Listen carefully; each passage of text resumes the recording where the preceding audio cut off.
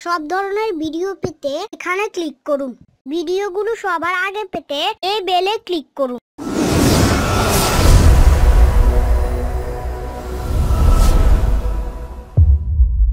ধন্যবাদ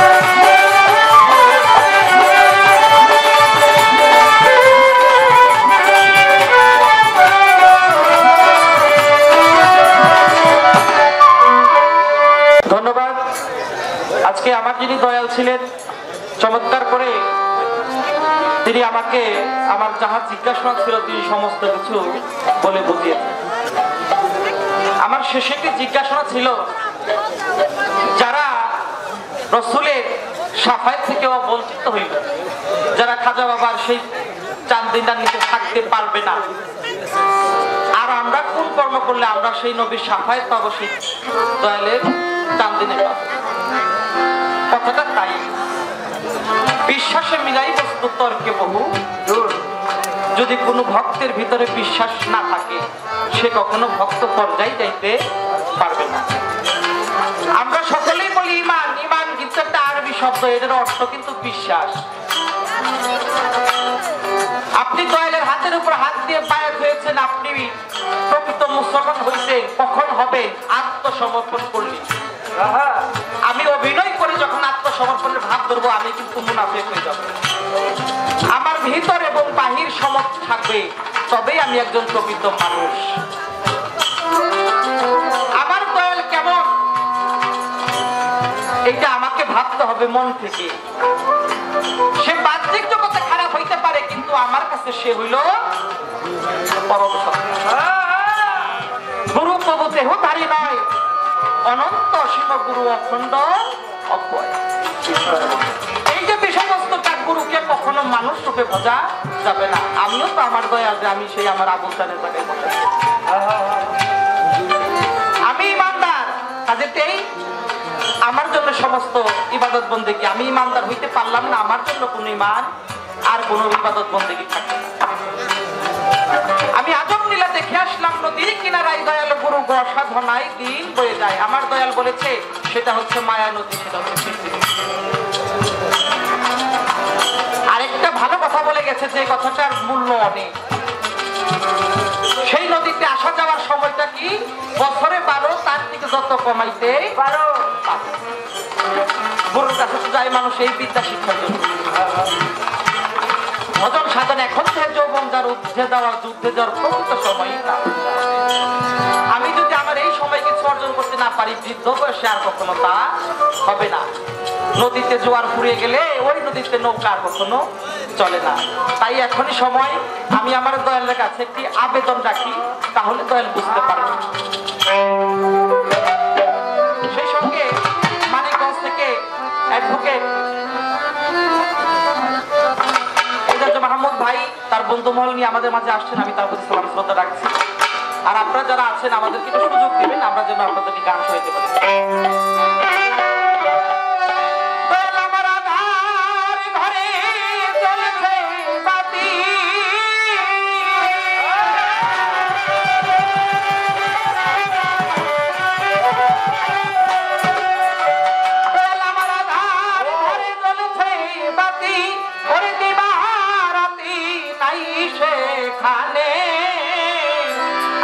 সাধু যেইখানে সন্ধানে যাই সেখানে।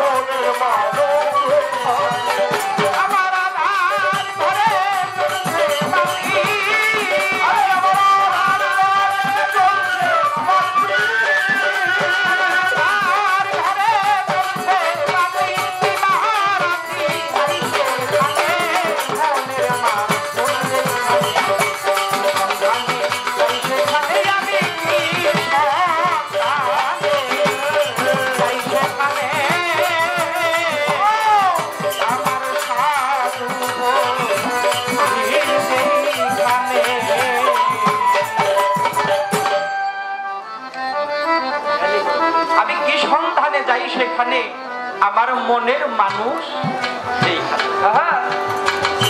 প্রত্যেকটা মানুষই আসছে একজন মন মানুষের সন্তান। আরামের ঘুমকে হারাম করে মানুষ গান শুনতে আসে কেন? আসলে একজন আরেকজনের সাথে দেখা হয়। কখন চলে যাব কেউ কিন্তু জানি না। লালন সাইজি তার গানের মধ্যে বলেছে লালন বলে মরলাম, আমি মরলাম বসই নিশিদিনে যেমন মনি হারা ফটির মতো আমি হারা হইলাম। আমার নৈপুণ্য বয়স, যারা দয়াল লেগেছে শেষ সময় চলে গেছে, তাদের কি দয়াল কোনো উপায় হবে না? তারা কি আর সেই যে দন হারিয়েছে, সে দনকে আর ফিরে পাবে না? আমি আমার এই পিতৃধন কি কর্ম করলে রক্ষা করতে পারব? আমি আমাকে সেই সঠিক, সরল পথে লাগাইতে পারব। আমি দয়ালের কাছে এটুকু আবদা ডাকলাম দয়াল বলেছেন, বিশ্বাস করে ভজন করতে হবে। আমরা প্রত্যেকেই গুরুর দরবারে যাই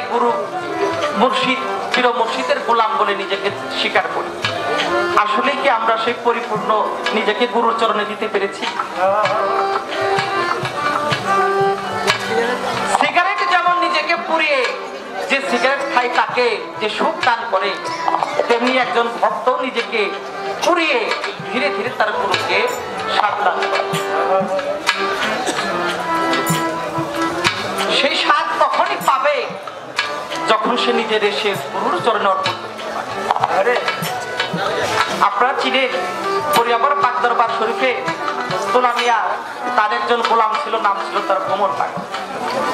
অনেকদিন ভ্রমর পাগল সেই দয়ালের দরবারে গোলামি করেছে। দয়াল তাকে হুকুম করেছিল, দয়াল, যে ভ্রমর তুই তোর গ্রামের বাড়ি চলে যায় তুই এবার একটু সংসার ধর্ম পালন ভ্রমর পাগল বলেছিল, দয়াল, জীবনের অর্ধেকটা সময় আমি আপনার পাশে কাটিয়ে দিলাম। আমি কি কর্ম করে খাব সেটাও জানি না। তিনি একটি ঝোলা বানিয়ে দিয়ে বলছিল, তুই আজকে থেকে ভিক্ষা করেই খাবি। এটাই তোর দায়িত্ব। টাঙ্গাইলে বাসা করটিয়ার ওইদিকে। ভ্রমর পাগল, একে একে এক মাস, দুই মাস, তিন মাস সে ভিক্ষা করে আর বাসায় চলে আসে। দুই, তিন মাস যখন হয়ে গেছে, আর সে দয়ালকে দেখে না। যার সাথে যার প্রেম, ভালোবাসা, তার থেকে দূরে থাকে থাকাটার কষ্টটা অনেক বেশি। যারা চাঁদের সাথে সম করেছে, যারা মৈজুদ্দি ফকিরের সাথে সম করছে, যারা মাতালের সাথে সম করছে, আজকে মাতাল চলে গেছে। আমার বাহার চলে গেছে। তার জন্য হৃদয়ের ভিতরে যতটুকু কাঁদে, এটা হারানোর পরেই মানুষ। ভক্ত যখন দূরে চলে গেছে লেগে গেছে। ভ্রমর দুই চোখের পানি ছেড়ে কাঁদে। তবে আমি আমার সেই দীনবন্ধুর দেখা পাবো। ওরস চলে আসছে। সমস্ত গুরু ভাইরা বসে মিটিং করতেছে। ওরসে কে কি দিবে? আর ভ্রমর পাগল আইসাই পিছনে বসে রয়েছে। ভ্রমর পাগল ভাবতেছে, সবাই সবকিছু দেয়। আমি কাকাল লাভি দয়ালের সেবাই কি? যখন এই কথা বলেছে, ভ্রমর পাগল বলছে, ভাই তোমরা সবাই তো গুরুর বাড়ি যাবা। আমারও দায়িত্ব মন চাইতেছে, আমারই কি তোমরা নিবা? একজন বলেও পাগল মানুষ, পরে আমাদের সাথে কেমন? আরেক ভাই বলে, না, ওরে একটু কাজ করানো যাবে, কি কাজ? ভ্রমর আমরা তোরে নিতে পারি একটা শর্ত, কি? আমাদের যত বোঝাগুলো আছে, যত চাউল উঠবে, সমস্ত চাউলটাও তুই একত্রিত করবি। সকালবেলা এলে রাখবি সকালবেলা আমরা এখান থেকে করটিয়া বাইপাসে তারপরে যাব ভ্রমর, আগের দিন সমস্ত কিছু বোঝা, একত্রিত করে বেঁধে রাখছে। ভোর হতে না হতেই ভ্রমর পাগল এসে ডাকতেছে, ভাই, আমি তো চলে আসছি। বোঝাটা উঠাইয়াই যখন মাথায় দিছে, আস্তে আস্তে করটিয়া দুই থেকে আড়াই মাইল পার হয়ে যখন আসছে এক ভাই ডাকতে বলে, ভ্রমণ পুরুর বাড়ি যাবে কিন্তু নিবি না। বলে, ভাই, আমার কাছে তো টাকা পয়সা নাই, আমি কি নিয়ে যাব? এক ভাই বলে, যাই কিন্তু টাকা দিলাম, আগরবাতি, মোমবাতি। যখনই আগরবাতি, মোমবাতি আনতে গেছে, আর সবাই এই সুযোগে গাড়িতে উঠে চলে গেছে। আর ভ্রমণ পাগল যখন কাছাকাছি চলে আসছে, এসে দেখেছি কেউ সেখানে ভ্রমর পাগল তুই চোখের পানি ছেড়ে দিয়ে কাঁদে আর বলে অনেকদিন হয় তোমার সাথে সঙ্গ হয় না, তাই ভাবছিলাম গুরু ভাইদের সঙ্গে চলে আমি এমনই কাঙাল, আজকে সবাই ঘৃণা করে আমাকে ছেড়ে চলে গেল। আমি জ্বলতেছি তোমার প্রেমে এটা আর কেউ বুঝল না। তাই আমার বাজানের একটা গান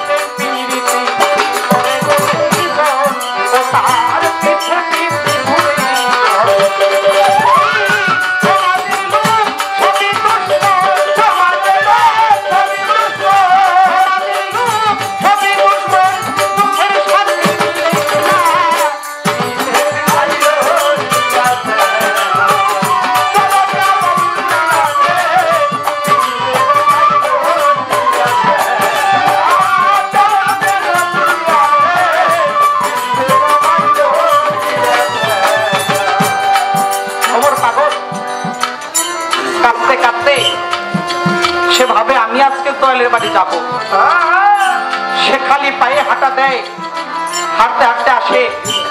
আর বাকি ভক্তগুলো যখন বাড়ির দোরগোড়ায় চলে আসে আইসা যখন দয়াল বলে দাস দিচ্ছে, তোলা যান ঘর থেকে বের হয়ে আসছে আইসা এদিক সেদিক তাকায়, আর ভক্তরা বলে, বাজান, আপনি কাউরে খুঁজে তখন তোলা চান, দুই চোখের পানি ছেড়ে দিয়ে বসতে তোরা সবাই আসবি, আমার ওই পাথরটা আসবে না।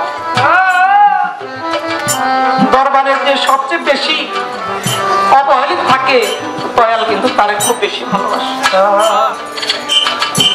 তখন তোলা চান ডাক দিয়ে যখন বলেছে, তোরা সবাই আসলি, আমার সেই পাগলটা আসলো না। সবাই উত্তর দেয়, ও আসে নাই। ধমকের সহিত তোলা চান বলেছিল, ও যদি নাই আসবে, তোদের এই বোঝার মধ্যে আর গন্ধ আসে কেন? আমি ওর গন্ধ শুনেই ঘর থেকে চলে আসছি। পাগলটা সেই চলে গেছে, আর দেখা হয় নাই। কিছুক্ষণ পর পাগল আসছে। আইসাই দয়াল কদমে পড়ে গেছে। অনেক কষ্ট করে আসছে। বলে, কীভাবে আসছিস? বলে, আমি হাইটে হাইটে আসছি। পাতা যখন দেখাইছে হাঁটতে হাঁটতে পায়ের তলিতে ঠুসকা পড়ে গেছে আর তোলা চান ডাক দিয়ে বলে, তুই শুধু একাই হাঁটিস।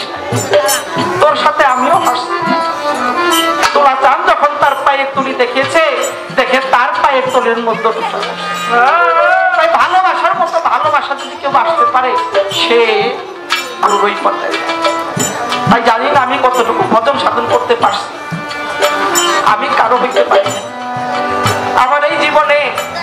এতটুকু বয়সের মধ্যে সবার মন আমি রক্ষা করতে পারি, অনেকেই আমার উপর কষ্ট থাকতে পারে, ক্ষমা করে দেবেন। কারণ আসার সিরিয়াল আসার যাওয়ার কোনো সিরিয়াল নাই। আজকে আছি, কালকে থাকব, এটাও বলতে পারব তাই জীবনে চলার পথে ভুল ত্রুটি হয়, সকলেই আমার জন্য।